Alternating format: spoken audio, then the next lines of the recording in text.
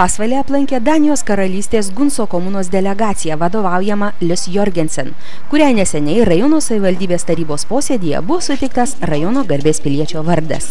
Rajono savivaldybės prieigose garbingus svečius pasitiko rajono vicemeras Paulas Balčiūnas, Pasvalio Gunso draugijos pirmininkas Algirdas Mulevičius, savivaldybės darbuotojai. Svečiai buvo pakviesti į savivaldybės posėdžių salę, kur jų laukia rajono savivaldybės tarybos nariai, įvairių visuomeninių organizacijų atstovai, taip pat asmeninių santykių su svečiais palaikantis pasvaliečiai. Savo sveikinimo kalboje rajono vicemeras pasidžiaugė, kad gausioje delegacijoje yra daug žmonių, kurie pasvalio kraštą aplanko nebe pirmą kartą. Tadien viešėjęs Gunso komunos meras Evan Linerup Olesen taipogi lankėsi pasvalyje 1992 metais pirmosios delegacijos sudėtyje. Nuo to laiko pasvalio kraštą pasiekė ne viena labdaros siunta. Pagalbos iš Danijos sulaukė rajono gydymo įstaigos, seninijoje senelių namai, neįgalių vaikų bendrėje viltis. Nekartą Gunso komunoje lankėsi ir sėmėsi patirties mūsų savivaldybės atstovai. Ypač sėkmingas buvo PAMO projektas, kurio dėka daugiau kaip šimtų vienišų senų ir neįgalių rajono gyventojų socialinės paslaugos imtos teikti jų pačių namuose. Dabartiniu metu vėl visi kartu kuria bendrą idėją dėl strateginio pasvalio rajono plėtros plano, kurio sėkmingas įgyvendinimas priklausys nuo Briuselio sprendimų. Be to, pasvalyje ruošiamas įsteigti Rotary klubą, kuris Gunso komunoje jau yra ir ateityje bus galima bendrauti kaip rotariečiams. Gunso komunos meras Evan Linerup Olesen, atvykęs į pasvalį su žmona, pirmiausiai taip pat paminėjo, kad malonu matyti pažįstamus veidus. Nuo pirmųjų bendradarbiavimo metų Lietuvoje bei pasvalyje daug kas pasikeitė ir tik į gražiąją pusę. Kiekvienas atvykimas čia suteikia didelį malonumą. Jis išreiškė vilti, kad ir ateityje šie vizitai tęsis. Lis Jorgensen, draugijos pasvalys Vener, ką išvertus reiškia pasvalio draugai, jungiančios per 30 narių pirmininkė, su mūsų rajono žmonėmis bendrauja jau 11 metų. Jos dėka ryšiai su pasvaliu niekada nenutrūko, dar daugiau. Per tą laikotarpį jos kompanijų metu surinktos lėšos panaudotos besikūrenčiam Vilties centrui. Rajono vicemeras perskaitė rajono tarybos savivaldybės sprendimą suteikti pasvalio krašto garbės piliečio vardą Lis Jorgensen. Įteikė jį garbėjai viešniai, o pati viešnia buvo apjuosta krašto garbės piliečio juosta bei pasveikinta viso būrio susirinkusiųjų. Lis Jorgensen padėkojo už šį garbingą vardą ir pažadėjo savo darbą, stiprinant Gunso komunos ir pasvalio rajono ryšius, tęsti ir toliau. Manau ir tikiu, kad vieni kitiems mes galima duoti labai daug, sakė viešne. Gunso komunos meras pasidžiaugė, kad šis susitikimas tarsi pasaka. Kitamet Danijos karalystė šves 200-asias Hanso Kristiano Anderseno gimimo metinės. Be to, Danai ir dabar turi savo karalienę, princą ir princesę, kurių vestuvių dovanų atvežė ir į pasvalį. Šias dovanas jis įteikė būsiam rajono tarybos pirmininkui. 1992 metais pasirašiusiam bendradarbiavimo sutartį Juozui Bagdonui ir rajono vicemerui Povilui Balčiūnui. O delegaciją lydinčiai vertėjai įteikė Gunso komunos dainų rinkinį. Rajono vicemeras atsidėkodamas garbiam svečiui padovanojo paveikslą su pasvalio miestu o visos delegacijos nariams pasiūlė pasipuošti suvenyriniais ženkliukais su rajono kontūrais valstybinės vėliavos fone ir dviem jame pažymėtais miestais – Joniškeliu ir Pasvaliu. Po iškilmingosios dalies visa delegacija pasuko prie 41 numerių pažymėto pastato nepriklausomybės gatvėje. Čia įsikūrė sutrikusio intelekto žmonių globos bendrijos viltis pasvalio padalinys, kurio įkūrimu rūpinosi Lys Jorgensen. Svečius pasitikusi Vilties užimtumo centro direktorė Marija Kunskienė pakvietė svečius vejoje priešais pastatą pasodinti buką, Danijos nacionalinį medį. Prieš medelio sodinimą linksmą instruktažą pravedė buvęs rajono tarybos pirmininkas miškininkas Juozas Bagdonas. Tegul šis šiandien dar mažas medelis stėvėsi ir aukštyn ir platyn, kaip kad mūsų draugystė palinkėjo pasvalio krašto garbės pilietė Lis Jorgensen. Vėliau svečiai susirinko į gražiai apipavydalintą ir išpuoštą užimtumo centro salę, kurioje Vilties centro globotiniai jiems padovanojo pačių paruoštą spektaklį.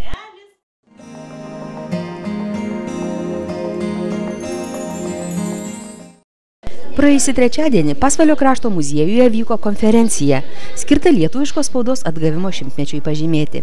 Renginys prasidėjo dailiojo rašymo žasies plunksna konkursu. Aktyviausi buvo paiešmenių, vitarų bei Pasvalio svalios pagrindinių mokyklų mokiniai bei mokytojai.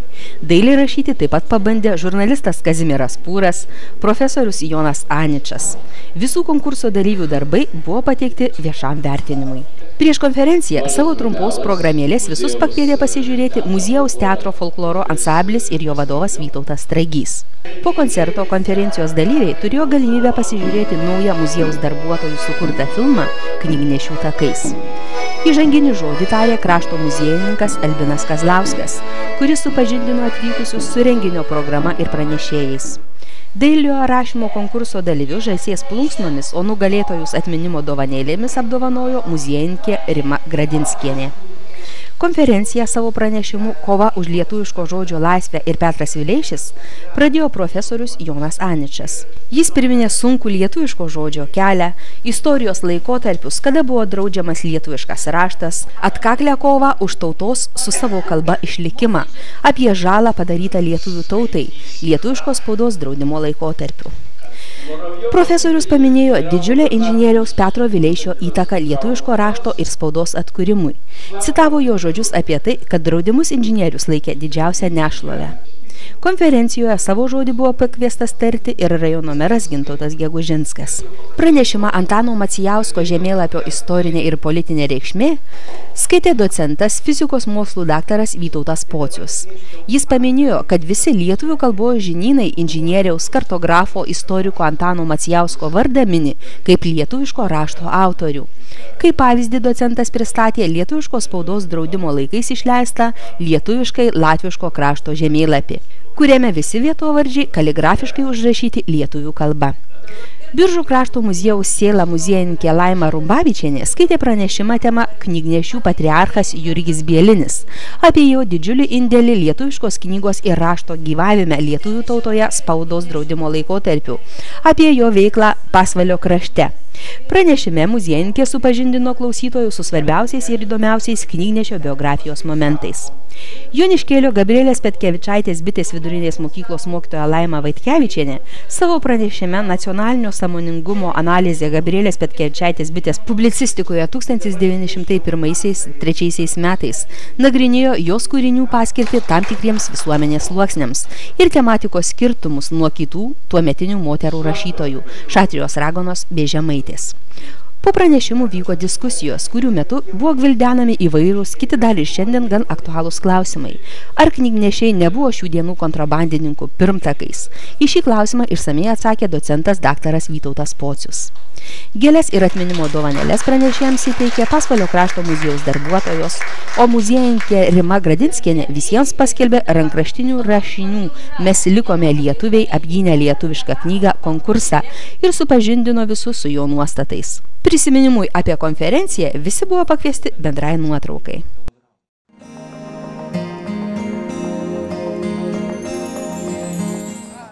Respublikiniai moksleivių techninės kūrybos rūmai kiekvienais metais organizuoja moksleivių konkursą Saugokime jaunas gyvybės keliuose.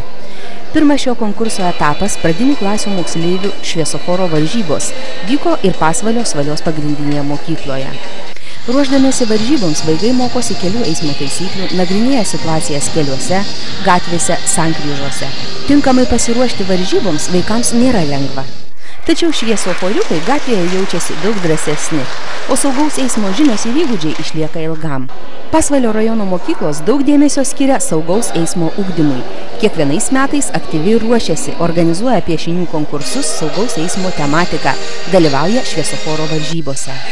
Rajono varžybų dalyvius pasveikino jaunosios svalios pagrindinės mokyklos šokėjos, pateikę nuotaikingą šokių programėlę. Prieš varžybą savo palinkėjimus varžybų dalyviams išsakė teisėja Stanislava Tamutienė ir saugaus eismo mokyklos direktorius Julius Mašalas.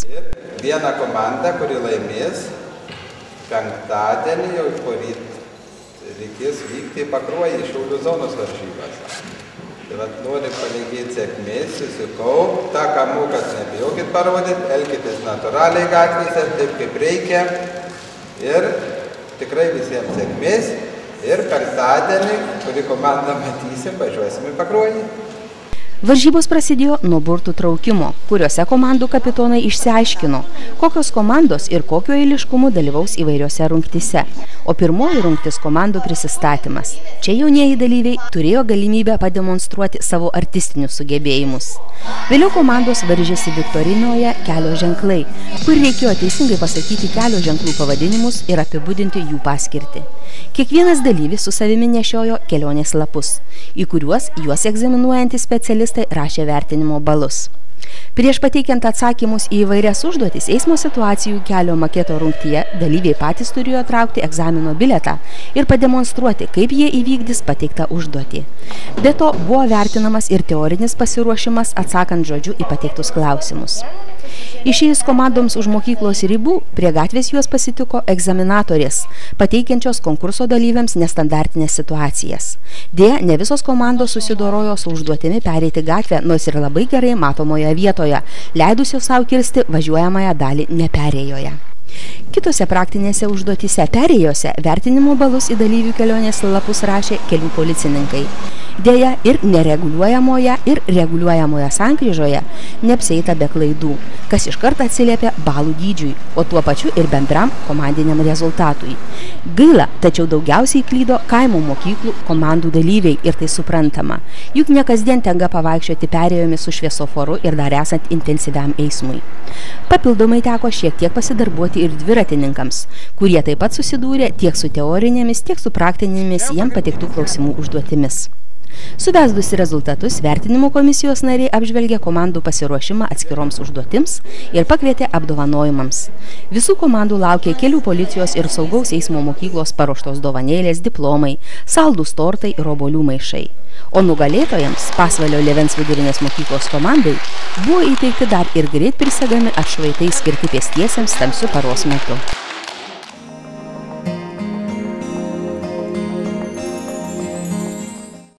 Vykdant vaikų dantų ėdonės profilaktikos programą, Pasvalio rajono savivaldybės švietimo ir sporto skyrius kartu su pirminės sveikatos priežiūros centru organizavo vaikams šventes konkursus Šypseno šventė. Renginio idėja – nuo mažens vaikams dėkti dantų priežiūros įgūdžius. Įvairių rajono ugdymo įstaigų komandos ruošė prisistatymus, atsakinėjo į testo klausimus, žaidė žaidimus, rungėsi estafetėse, sirgo už savo kapitonus jų rungtyse.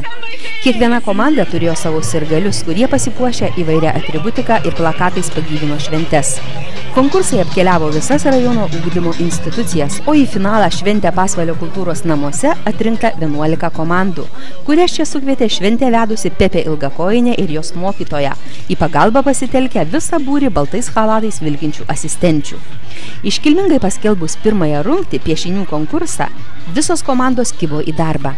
Neužilgo ant prieš kultūros namus esančios aikštės grindinio išdygo visa piešinių paroda. Tuo metu centrinėje miesto aikštėje įsisuko didžiulis ratelis, į kurį įsijungė ir šventės svečiai, rajono meras, vyriausias pirminės asmens sveikatos priežiūros centro gydytojas, politikai. Ko gero didžiausio dėmesio ir emocijų susilaukė antroji rungtis – lovų ralis kurioje komandų stipruoliai turėjo greitai iki dantistų nugabenti pusę savo komandos draugų tam, kad šie teisingai specialistų prižiūrimi išsivalytų dantukus. Į šią rungtį buvo pakviesti ir renginio garbės svečiai, kurie dantistams pridavė visas baltais halatais vilkinčias Pepės asistentes, o pati Pepė eilinį kartą vėl išsisuko net neišlipdama iš lovos. Po šių linksmybių mokytojos skambutis pakvietė visus į kultūros namų salę, kur be renginio svečiams ir dalyviams paruoštų šokėjų programos vyko ir komandų prisistatymas. Viena iš linksmiausių užduočių, kurią paruošė šventės rengėjai ir jos rėmėjas uždaroja akcinė bendrovė Aukštikalnių sodai, obolių valgymo varžybos. Nesibaigiančios ovacijos ir palaikančiųjų komandų energija pakvietė parungtiniauti ne tik sirgalius, bet ir mažiausius renginio dalyvius.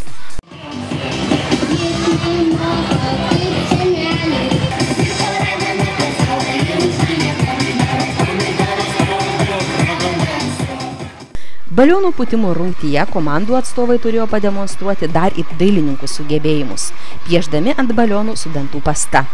Kol skaičiavimo komisija suvedinėjo per visas rungtis komandų uždirbtus balus, žiūrovus linksmino jų bendramžiai šokėjai.